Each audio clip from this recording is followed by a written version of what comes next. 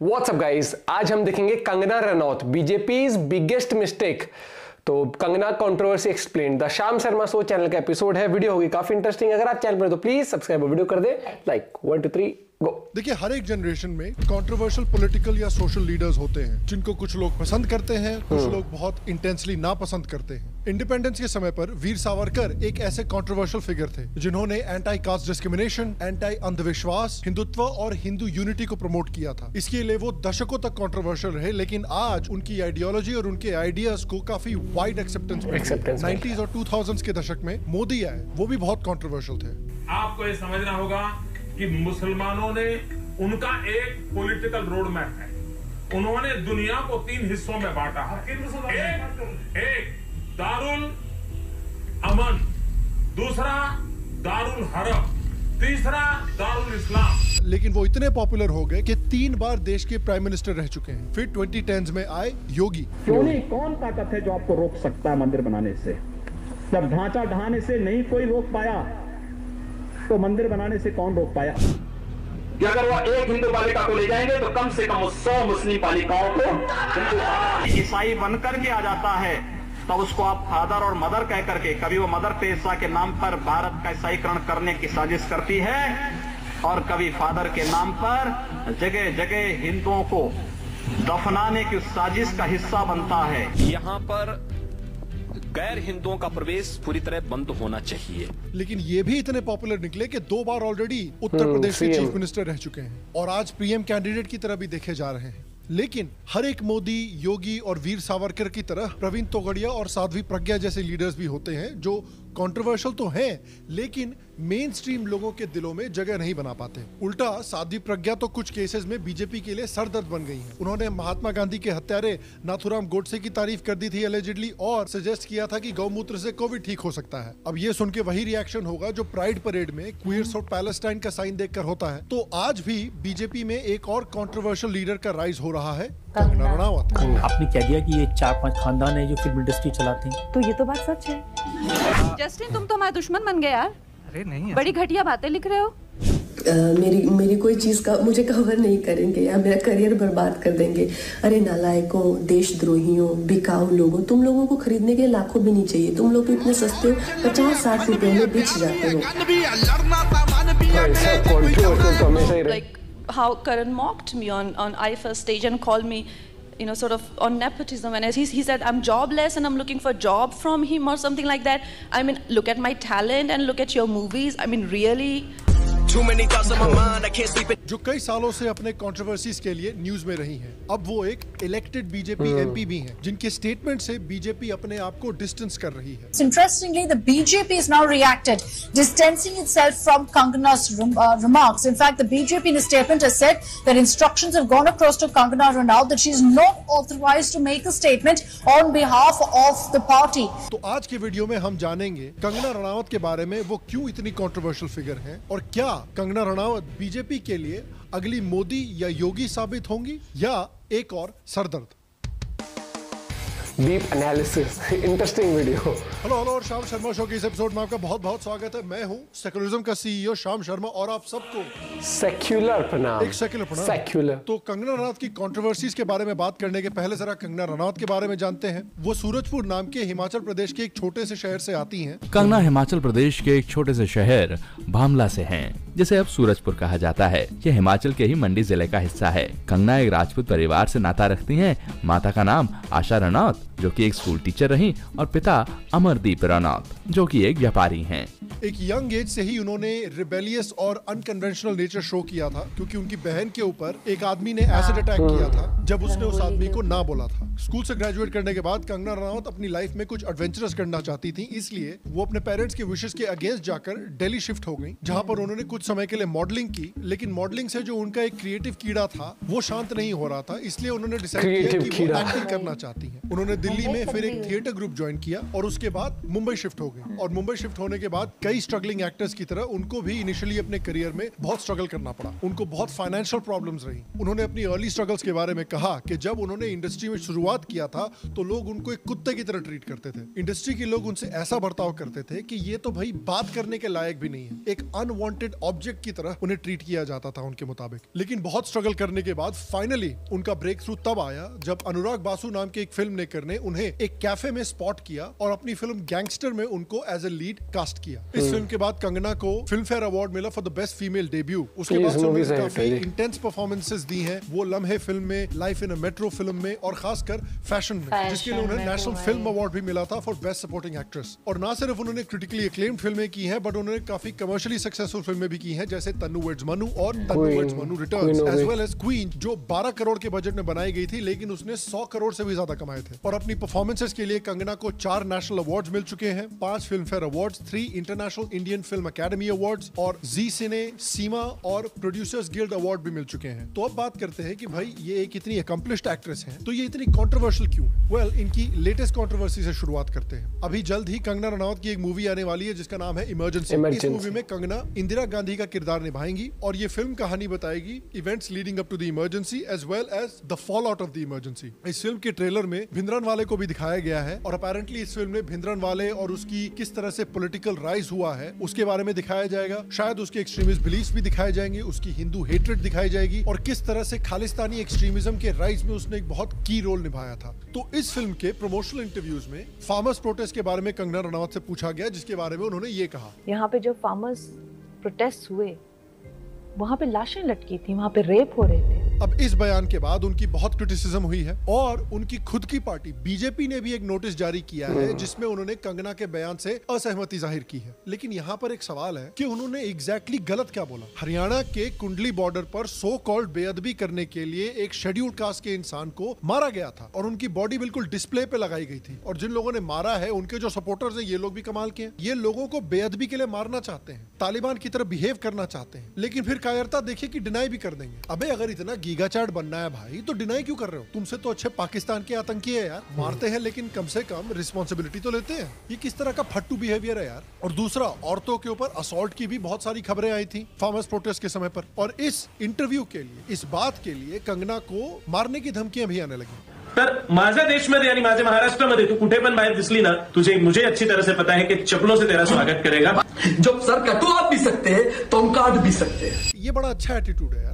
है। एक तरफ़ तो आप दुनिया भर को जाके बोल रहे हो कि नहीं नहीं हम बड़े पीसफुल हैं हम बड़े पीसफुल तरीके से प्रोटेस्ट करते हैं। हमने किसी को मारा नहीं है। हम्म। लेकिन अगर आपने सजेस्ट किया कि हमने किसी को मारा है तो हम आपको मार देंगे। तो ये तो वही बात हुई कि मैंने कभी भी खुले में हगा नहीं है। खुले में हगने वालों से मुझे नफरत है। लेकिन अगर तूने मुझे बोला कि मैंने ये तो किया है तो मैं अभी के अभी जाकर शहर के हर एक चौराहे पे हक दूँगा। कौन सा लॉजिक है ये भाई? और ऑब्वियसली हमारे देश में इन्फ्लुएंसर्स और पॉलिटिकल पार्टी के स्पोक्स पर्सन ऐसे हैं जिनको इस बात की कम चिंता है कि एक औरत को पेट्रियार्की से मौत की धमकियाँ मिल रही हैं सिर्फ़ एक ओपिनियन रखने के लिए और उस औरत ने क्या ओपिनियन रखा है उसकी ज़्यादा चिंता है। कंगना रणावत का कहना है कि इस देश के किसान जो अपने हक के लिए अपने अधिकारों के लिए प्रदर्शन कर रहे थे वो असल में बलात्कारी और हत्यारे इनकी मूवी बैन करने की बात हो रही है। पिक्चर का नाम है इमरजेंसी और डायरेक्टर का नाम है कंगना रनौत।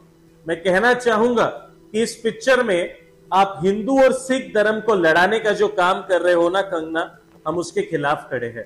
कंगना को भी नुपुर शर्मा की तरह सिक्योरिटी लेनी पड़ी है। अब इस इंसिडेंट के बाद कई लोगों ने कंगना को सपोर्ट किया है। कुछ बड़े ट्विटर हैंडल्स हैं जिन्होंने ओपनली सपोर्ट किया है। सोशल मीडिया पे कई लोग खड़े हुए हैं कंगना रनावत के साथ। एक और नूपुर शर्मा भारतीय जनता पार्टी ने पैदा कर कई इन्फ्लुएंसर्स ने ओपनली सपोर्ट करके वीडियोस भी बनाए हैं इनके लिए। आज कंगना को बोला जा रहा है। कल को बोला भी नहीं जाएगा। घोड़े बैठा आदमी चाबुक लेके आपके घर पहुंचेगा। मैं बता दे रहा हूँ, जो भी भाजपा के नेता, नड्डा जी को भी भेज देना चाहिए इस बार।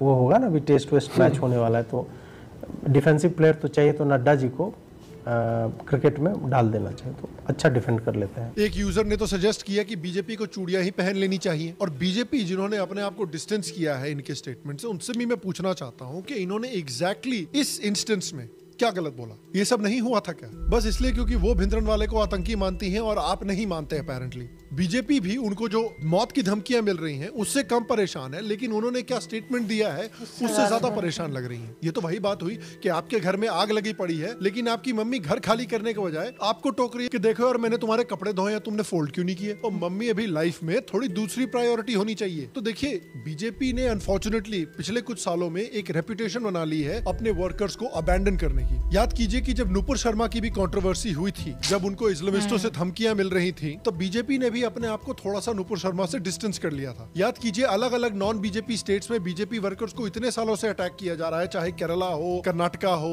वेस्ट बंगाल हो the Bharatiya Janata party which was the main rival of the Trinamool Congress in bitterly fought election claimed that six of its workers have violence unleashed allegedly by T M C goons Who burnt and vandalized BJP offices in the state? The straight from Darjeeling. West Bengal's BJP chief Dilip Ghosh was chased by the Gorkha Janmukti Morcha workers And we have some breaking inputs coming in. Uh, BJP Karyakartas have now been brutally attacked by alleged TMC goons at Keshpur Pashchin. Workers ने अक्सर कहा है कि BJP ने हमारी मदद करने की कोशिश नहीं की है अब यहाँ ऑब्वियसली बहुत बड़ी प्रॉब्लम आती है बीजेपी के लिए क्योंकि बीजेपी ने अपने आप को मार्केट किया है as a pro law and order party कि भाई हम law and order Law and बिल्कुल order. ठीक करके चलते हैं तो एक तरफ़ तो आप ऐसा बोलते हो, दूसरी तरफ़ जब आप फार्म लॉस पास करते हो, उसके बाद कुछ किसान आते हैं इलीगली सड़कों को ब्लॉक करते हैं 26 जनवरी को लाल किले पर दंगे करते हैं और इसके बाद लॉ एंड ऑर्डर मशीनरी का इस्तेमाल करके उनको रोकने के बजाय आप फार्म लॉस को वापस ले लेते हो। तो बेसिकली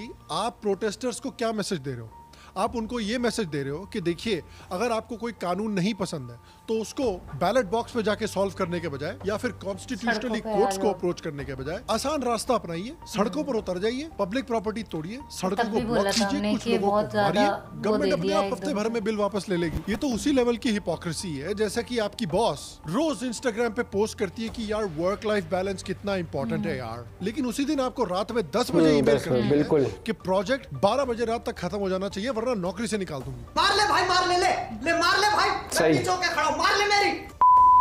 तो एक पार्टी जिसने अपनी स्ट्रॉन्ग इमेज बनाई है स्ट्रॉन्ग लॉ एंड ऑर्डर पर जैसे उन्होंने उत्तर प्रदेश में किया है असम में किया है तो अगर आप ऐसा मैसेज देते हैं कि आप अपने खुद के वर्कर्स को अपने खुद के लीडर्स को प्रोटेक्ट नहीं कर सकते बल्कि उनसे डिस्टेंस कर लेते हो, कर तो लेते आपको काफ़ी वीक दिखाता है। आपके वर्कर्स और आपके लीडर्स भी सोचेंगे कि भाई आपके साथ काम करने का आपके आइडियाज़ को सपोर्ट करने का फ़ायदा क्या तो ऐसी पार्टी जो एक दूसरे की करने के लिए दुश्मन है, वो ऐसे होके तो देखिए एक तरफ़ तो। लेजिटिमेटली बीजेपी को क्रिटिसाइज करना ज़रूरी है लेकिन दूसरी तरफ़ कंगना को भी ऑब्जेक्टिवली जरा देखने की ज़रूरत है, क्योंकि अपना फुल थ्रोटेड सपोर्ट कंगना को देना without examining all over opinions ये भी एक तरह की गलती है। ये भी देखना पड़ेगा कि कंगना रनावत जो है, वो बीजेपी के लिए और हिंदुत्व मूवमेंट के लिए एक नेट पॉजिटिव है या एक नेट नेगेटिव है। लेकिन ये एग्जामिन करने के पहले हमें एक जरा कॉन्सेप्ट समझना पड़ेगा। So welcome to another edition of CEOs concept corner आज के वीडियो में जिस कॉन्सेप्ट के बारे में हम जानेंगे, उस कॉन्सेप्ट का नाम है the Overton window Overton window basically उन रेंज ऑफ़ आइडियाज़ को कहते हैं, जिन आइडियाज़ को एक सोसाइटी में एक्सेप्टेबल या डिजायरेबल माना जाता है।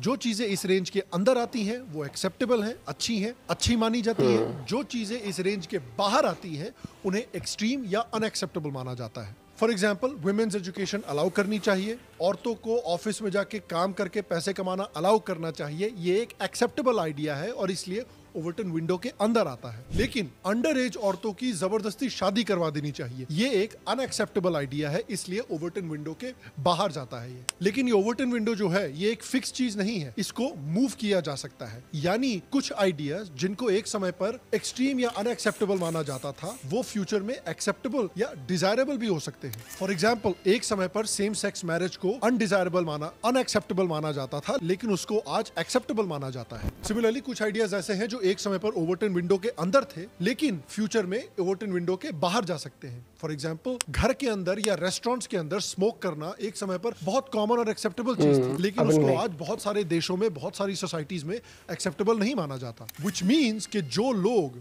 ओवरटन विंडो को शिफ्ट कर सकते हैं जो लोग दूसरे लोगों को अपनी आइडियोलॉजी में इन्फ्लुएंस कर सकते हैं ये लोग पॉलिटिक्स में और सोसाइटी में बहुत वैल्यूबल हो सकते हैं। बहुत कम लोग हैं दुनिया में जो इतने रेवोल्यूशनरी होते हैं कि ओवरटर्न विंडो को शिफ्ट कर सकते हैं। ऐसे इंडिया में एग्जाम्पल्स है। For example Veer Savarkar Veer Savarkar historically बहुत सक्सेसफुल साबित हुए हैं ओवरटर्न विंडो को शिफ्ट करने में। वो सौ साल पहले कास्ट डिस्क्रिमिनेशन को खत्म करने की बात कर रहे थे, अंधविश्वास को खत्म करने की बात कर रहे थे और हिंदू यूनिटी को प्रमोट करने की बात कर रहे थे एक ऐसे समय पर जब हिंदू सोसाइटी शायद इन आइडियाज़ को एक्सेप्ट करने को तैयार नहीं थी। लेकिन आज ये आइडिया सिर्फ़ एक्सेप्ट ही नहीं किए गए हैं, बल्कि इनको एक्सट्रीमली डिजायरेबल भी माना जाता है। Similarly prime minister Modi and his pro Hindutva politics prime minister Modi 20 साल पहले आर्टिकल 370 हटाने की बात कर रहे थे हम्म। राम मंदिर बनवाने की बात कर रहे थे यूनिफॉर्म सिविल कोड लाने की बात कर रहे थे। उस समय पर नेशनल पॉलिटिक्स माइनॉरिटी अपीजमेंट में ऐसा घुसी पड़ी थी कि कोई भी इस आइडिया को एंटरटेन या एक्सेप्ट करने को तैयार नहीं था। लेकिन उन्होंने अपनी डिटर्मिनेशन के थ्रू और अपनी करिश्मा के थ्रू जो सोचा वो करके भी दिखाया। जहाँ पर इन पॉलिसीज़ को एक्सेप्टेबल ही नहीं माना जाता बल्कि देश के मेजोरिटी लोग इसको सपोर्ट भी करते हैं। दूसरी तरफ़ साध्वी प्रज्ञा जैसी लीडर्स हैं। जो गोडसे की तारीफ़ कर रही हैं या गौमूत्र से कोविड ठीक कर रही हैं क्या आपको लगता है कि ये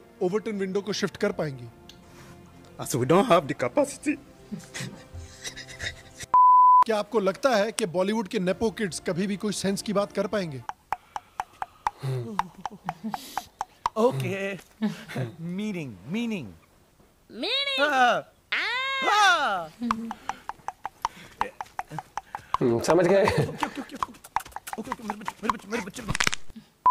तो अब जब हमको ओवरटन विंडो समझ में आ गई है और समझ में आया है कि ओवरटर्न विंडो कैसे शिफ्ट हो सकती है तो बात करते हैं कंगना रनावत के बारे में। क्या वो अगली मोदी या योगी बन सकती है जो ओवरटन विंडो को शिफ्ट कर सकती है या फिर वो अगली प्रवीण तोगड़िया या साध्वी प्रज्ञा बनेंगी? तो देखिए कंगना हमेशा से ही एक काफ़ी पोलराइजिंग फिगर रही है लेकिन there are some legitimate reason की वो हिंदुत्व सर्कल्स में या प्रो बीजेपी सर्कल्स में इतनी पॉपुलर क्यों है। आज देखिए बॉलीवुड का नेपोटिज्म की वजह से कितना नाम खराब है। So you know, I think everyone has their own journey Yeah. and their Yeah, own struggle. I It's like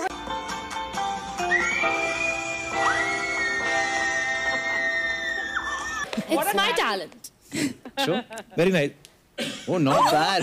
Casper भी कर लेता है ये करोड़ों लकीरें खींच दी सुख की दुख की इज़्ज़त की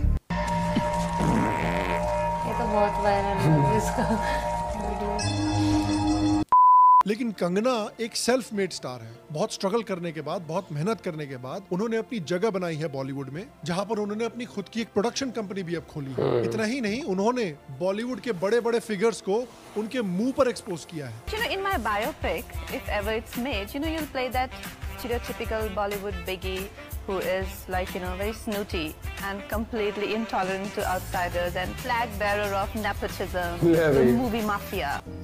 गोली नहीं मारेंगे साले को।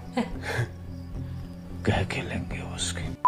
राहुल गांधी को भी काफ़ी रोस्ट कर चुकी है वो। हिंडनबर्ग के रिपोर्ट पर जब राहुल गांधी ने हल्ला मचाया था, उस समय पर राहुल गांधी को भी रोस्ट किया था उन्होंने। जब एक क्लिप कटुए ने एक आउट ऑफ़ कॉन्टेक्स्ट क्लिप डालकर नुपुर शर्मा नाम की एक बीजेपी लीडर की ज़िंदगी खतरे में डाल दी थी, जब उसको रोज़ाना मौत की धमकियाँ मिल रही थी, जिसको सपोर्ट करने पर दो लोगों को इस्लामिस्टों ने बेरहमी से मारा भी था। उस समय बहुत सारे पब्लिक फिगर्स मुँह में फेविकॉल लगा के बैठे हुए थे, लेकिन उसके बावजूद कंगना रनावत ने ओपनली नुपुर शर्मा को सपोर्ट किया था। उन्होंने इंदिरा गांधी को सपोर्ट किया था, खालिस्तानी एक्सट्रीमिज्म को क्रश करने के लिए। जब किशन भारवाड़ नाम के एक गुजरात के यूथ को मार दिया गया था प्रॉफिट मोहम्मद के बारे में एक फेसबुक पोस्ट करने के लिए तो उसे जस्टिस दिलाने के लिए भी कंगना रनावत ने आवाज़ उठाई थी। रिसेंटली एक पॉडकास्ट में कंगना ने बॉलीवुड स्टार्स को काफ़ी स्टूपर्ड और डम भी कहा। People are just so full of themselves. They're stupid, they are dumb, they are just, you know, those protein shake and uh, that kind of. Uh, अब मैंने आपको इस वीडियो में एक मोन्टाज दिखाया ही है। कंगना ने कुछ गलत बोला तो बता दो। इसके अलावा कंगना ने ये भी कहा था।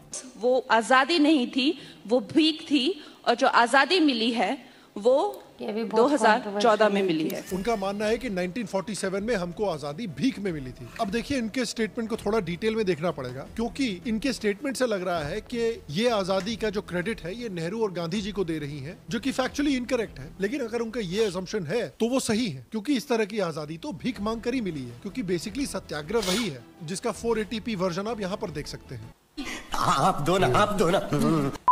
तो अगर उनका असम्पशन ये है तो वो सही है। इसलिए लोग इनको सपोर्ट कर रहे हैं। लेकिन कंगना फैक्चुअली इस बात पर गलत है कि वो कह रही है कि हमें आज़ादी नेहरू जी और गांधी जी की वजह से मिली है। सच्चाई ये है कि भारत को आज़ादी इसलिए मिली क्योंकि जो ब्रिटिश आर्म फोर्सेस थे इंडिया में जिसमें बहुत सारे इंडियंस थे वो सुभाष चंद्र बोस और इंडियन नेशनल आर्मी से बहुत इंस्पायर हुए थे। और वो देख रहे थे कि ये देखिए इंडियन नेशनल आर्मी है जो इंडिया को ब्रिटिश के चंगुल से छुड़ाने के लिए अपनी जान पर खेल रही है बल्कि हम है जो भारत को गुलामी के अंदर रखने के के लिए इस वजह से अंग्रेज़ों को डर लगने लग गया कि कहीं भारत में फिर से 1857 के लेवल का रिवोल्ट ना हो जाए। और अगर ऐसा हुआ तो अंग्रेज़ों को कहीं भी छुपने की जगह नहीं मिलेगी। और देखते ही देखते 1946 में मुंबई के पास नेवल म्यूटनी हुई जिसने अंग्रेज़ों के डर को बेसिकली कंफर्म कर दिया। और वो उतनी ही तेज़ी से भारत से निकले जितनी तेज़ी से किसी का भाई किसी की जान फ़िल्म थिएटर से निकली थी। और इस बात को उस समय के British prime minister Clement Attlee ने भी कंफर्म किया था। 2020 के दौरान कंगना ने मुंबई पुलिस को माफिया से कंपेयर किया था और मुंबई को पाकिस्तान ऑक्यूपाइड कश्मीर से कंपेयर किया था। अब आप कह सकते हैं कि देखिए यार ये थोड़ा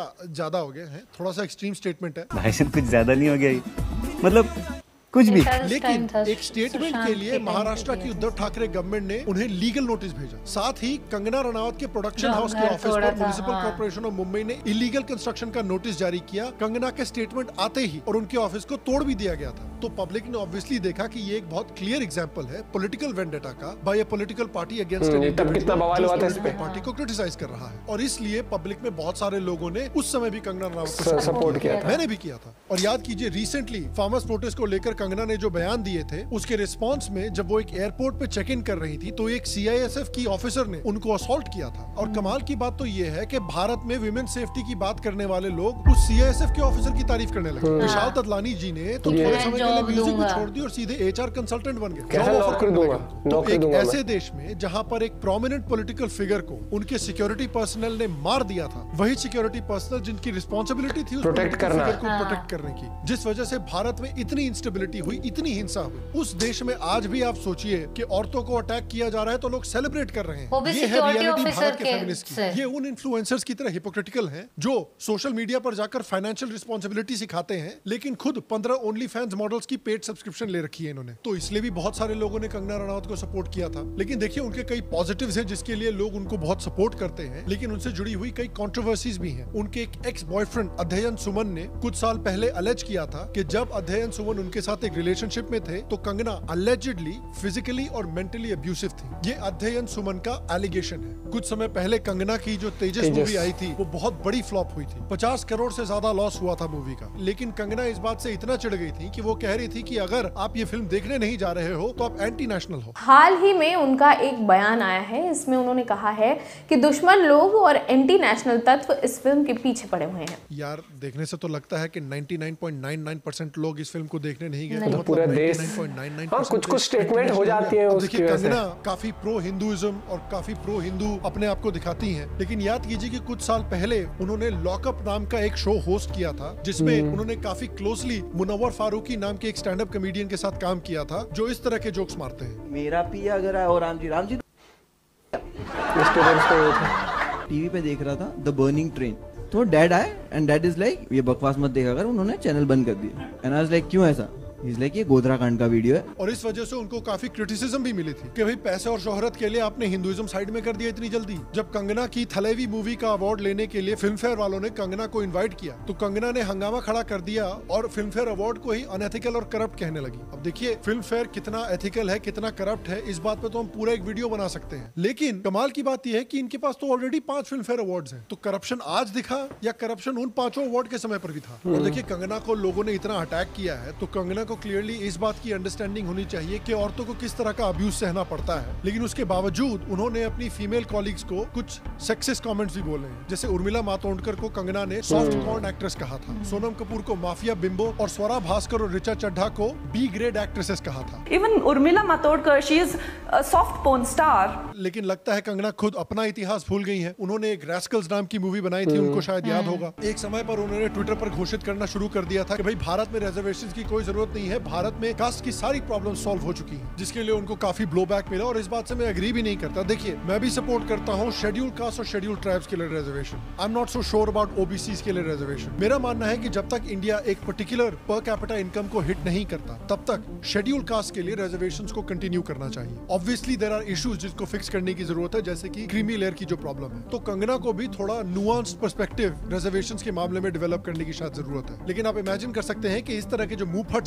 स्टेटमेंट्स हैं वो कैसे बीजेपी के लिए एक हेडेक क्रिएट कर सकते हैं और कैसे बीजेपी के अपोनेंट्स इन स्टेटमेंट्स को इस्तेमाल कर सकते कर हैं बीजेपी हैं। को अटैक करने के लिए। क्योंकि अब वो एक बीजेपी की इलेक्टेड एमपी हम्म। आपको याद होगा कि 2021 में उनके ट्विटर अकाउंट को परमानेंटली डिलीट कर दिया गया था। हाँ, जब उन्होंने वेस्ट बंगाल के वायलेंस के बाद ओपनली खुद वायलेंस डिमांड की थी। कहा था कि मोदी जी अपना विराट रूप दिखा दीजिए और मुसलमानों को जरा अटैक कीजिए। कौन सा विराट रूप भैया? क्या आप ये कहना चाह रही हैं कि मोदी जी का हाथ था गुजरात के दंगों में? इनफैक्ट मोदी जी के ऊपर तो कितनी स्पेशल इन्वेस्टिगेटिव टीम्स बिठाई गई थी जो सुप्रीम कोर्ट ने बिठाई थी जिन्होंने उनको क्लीन चिट दी थी। नानावटी कमीशन ने उनको क्लीन चिट दी थी। तो कौन सा विराट रूप? उनका तो कोई हाथ ही नहीं था इसमें। और secondly you cannot openly call for violence यार। It cannot be allowed on social media platform और अगर कोई politician wants to be taken seriously as a national leader तो वो इस तरह से ओपनली वायलेंस की मांग नहीं कर सकता सोशल मीडिया पर जाकर। तो देखिए कंगना रनावत का ये जो केस है ये एग्ज़ाम्पल है कि भाई उनकी पर्सनैलिटी बहुत वॉलेटाइल है। चलिए ठीक है। लेकिन अगर वो एक पॉलिटिशियन बनना चाहती है पॉलिटिक्स में जाना चाहती है देश में एक्चुअली पॉलिटिकल चेंज लाना चाहती है। तो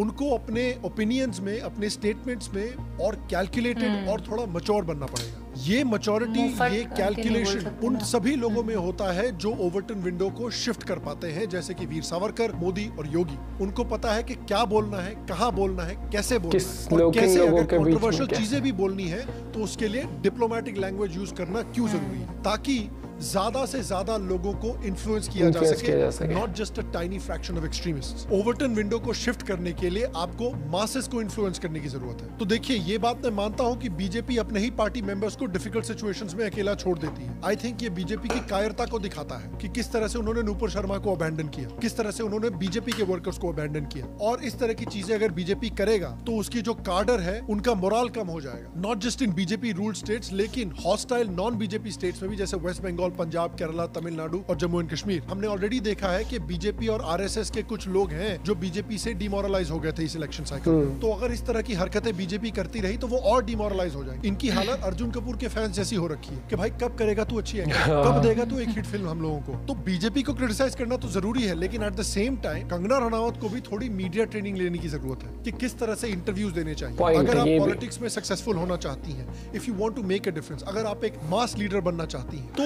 statements में उनको थोड़ा थोड़ा- और स्मार्ट हाँ, थोड़ा diplomacy, थोड़ा maturity। और मच्योर पड़ेगा। और मैं आपसे पूछना चाहता हूँ आपके हिसाब से क्या आप कंगना को 100% सपोर्ट करते हैं? या फिर आपको लगता है कि कंगना को थोड़ा सा मीडिया ट्रेनिंग लेनी चाहिए और अपने व्यूज़ को थोड़ा मॉडरेट करना चाहिए और बेहतर तरीके से प्रेजेंट करना चाहिए ताकि वो ज़्यादा से ज़्यादा लोगों को इन्फ्लुएंस कर सके? क्या आपको लगता है कि कंगना योगी और मोदी की तरह ही एक मास लीडर बन सकती है या नहीं? नीचे कॉमेंट सेक्शन में मुझे ज़रूर बताए। बाकी गाय जैसा की मैंने पहले कहा है हमारे बहुत सारे वीडियोस को यूट्यूब या तो डिमोनेटाइज करता है या सेंसर कर रहा है तो प्लीज़ अगर आप हमारे चैनल को ग्रो करते हुए देखना चाहते हैं अगर आप चाहते हैं कि आपके सीईओ का मैसेज हम्म। ज़्यादा से ज़्यादा लोगों तक जाए ज़्यादा से ज़्यादा लोग आपके सीईओ की आइडियोलॉजी से इन्फ्लुएंस हो तो प्लीज़ हमें पेट्रियन पर सपोर्ट करें या यूट्यूब पर एक एक चीज़ मैं कहना चाहूँगा कि जब भी कोई लीडर आता है या कोई लीडर बन बहुत बड़ा मतलब ग्रो करना चाहता है पॉलिटिक्स में आप देखना हमेशा स्टार्टिंग में बातों से 100 परसेंट कभी कोई एग्री करेगा नहीं। और एक और चीज़ आपने देखना कि कंट्रोवर्शियल तो जो आज बड़े बड़े नेता है ना सब। सब कंट्रोवर्शियल रहे हैं। ठीक है तो भाषण सबके होते कंट्रोवर्शियल ऐसा नहीं कि कोई आज तक ऐसा किसी ने भाषण नहीं दिया हो जो कंट्रोवर्शियल हो चाहे मोदी जी हो चाहे योगी जी हो चाहे हेमंत बिस्वा हो। हाँ। आप बीजेपी छोड़ो आप कांग्रेस की तरफ़ ही चले जाओ। आपने देखा होगा सुप्रिया श्रीनेट के भाषण भी देखेंगे राहुल गांधी के भाषण भी देखे होंगे तो भाषण देते हैं वो। हाँ पॉलिटिक्स है। कोई कमेंट पास करता आप ना कंगना ममता बनर्जी के भाषण देख लो। हाँ। जो कि हाल ही में भी कैसे कैसे भाषण देते ठीक है वो चीज़ है। हाँ नो डाउट कंगना को मेच्योरिटी थोड़ी लानी पड़ेगी थोड़ा मीडिया में किस तरीके से जवाब देना सोशल मीडिया प्लेटफॉर्म पे किस तरीके क्योंकि अगर आपको मास लेवल पर अपनी फ़ैन बेस स्ट्रॉन्ग करनी तो आपकी आइडियोलॉजी लोग समझे लेकिन वो फिर एक थोड़ा एक अ, मैं क्या कहूँगा कि एक और बेहतर तरीके से तराश के आपको बोलनी पड़ेंगी चीज़ों को। नो डाउट कंगना के साथ लोग खड़े भी हुए हैं जब पॉइंट मतलब अगर नॉर्मली एग्जांपल दो ना कि बहुत सारे लोग हैं जो हमें पसंद नहीं है हाँ। या नहीं होते हैं ठीक है? जब आप सोशल मीडिया पे नहीं थे वो तो एक नेता है अब। जब हम सोशल मीडिया पे नहीं थे तो मैं अरे बेकार बकवास है ये है वो है। अगर हम अब भी बोले बोलते हैं ना लेकिन तरीके तरीके से से बोलना पड़ेगा। अगर हमें कोई पसंद नहीं आता तो वही चीज़ है चुनाव। हम्म। वर्ड्स को कैसे चूज़ करते हो? क्या पॉइंट ऑफ़ व्यू रखते हो? किस तरीके से? वो मैटर करता है। एपिसोड काफ़ी इंटरेस्टिंग था और बहुत कुछ जानने को भी मिला होगा एंड आई एम श्योर कि आप ये भी समझ रहे हो कि कोई भी नेता होता है वो बिल्कुल स्टेटमेंट कभी भी चाहे वो किसी भी पार्टी का हो या किसी पोस्ट पर हो भाषण कभी भी किसी के वो नहीं होंगे कि हंड्रेड परसेंट सब अग्री करेंगे। लेकिन हाँ ऐसे भाषण भी नहीं होने चाहिए जो भड़काऊ हो। हाँ। लेकिन अगर जैसे अब योगी जी के भाषण आते हैं कुछ आता है। तो बहुत सारे लोग उससे अपसेट भी होते हैं या गुस्सा दिखाते हैं अपना, लेकिन वो बहुत डिप्लोमेसी के तरीके से, बहुत गजब तरीके से बोलते हैं और फिर लोगों का प्यार भी आता है, लोगों सपोर्ट भी करते हैं तो वही चीज़ है। देखते बाकी क्या होता है कि अभी तो पॉलिटिकल करियर शुरू ही हुआ है कंगना का तो अभी तो बहुत टाइम है उस चीज़ में भी। लेकिन हाँ वही वाली बात है कि अपने भाषणों से अपनी गलतियों से इंसान या फिर आ, शब्द के चुनाव से ही इंसान समझता है कि जब मैं इस प्लेटफॉर्म पे हूँ तो मुझे किस तरीके से बोलना चाहिए। यहाँ तो इंडियन टीम हार जाती है रोहित शर्मा मान लो सेंचुरी मार दे फिर भी बेचारे को आगे बोलना पड़ता है कि यार ठीक है हमने ये हुआ। हो तो वही चीज़ वहाँ पर आके थोड़ी बोलते हैं मैंने तो सोरेन बना दिए थे। मैं क्या करूँ? मैं क्या करूँ? उसने बॉल नहीं डाली तो नहीं आपको एज ए टीम प्लेयर और हाँ बीजेपी के लिए थोड़ा सा वो सही बोला भाई ने कि थोड़ा सा वैसे नहीं होना चाहिए कि आप आइसोलेट करो या फिर आइसोलेट भी सही वर्ड नहीं है मतलब कि थोड़ा सा आपको कह रहे कि अगर बिल्कुल आपकी टीम से कोई मतलब आपकी पार्टी से कोई वो, वो कर रहा है तो आप बिल्कुल ही पर्दा डाल दो कि नहीं नहीं हम तो इसके साथ जैसे कि वर्कर्स हैं जो अ, स्टा- अ, जो कार्यकर्ता हैं हम्म। उनके लिए भी आपको स्टैंड लेना पड़ेगा हर एक चीज़ होती है और वो पार्टी करती भी है लेकिन कई बार क्या होता है कि उस तरीके से हमारे सामने नहीं आ पाता या तो। बाकी भाई पॉलिटिक्स है पॉलिटिक्स बहुत पेचीदा होती है। मिलते हैं वीडियो के साथ बाय अपना पॉइंट भी ज़रूर शेयर करिएगा। मिलते हैं वीडियो के साथ बाय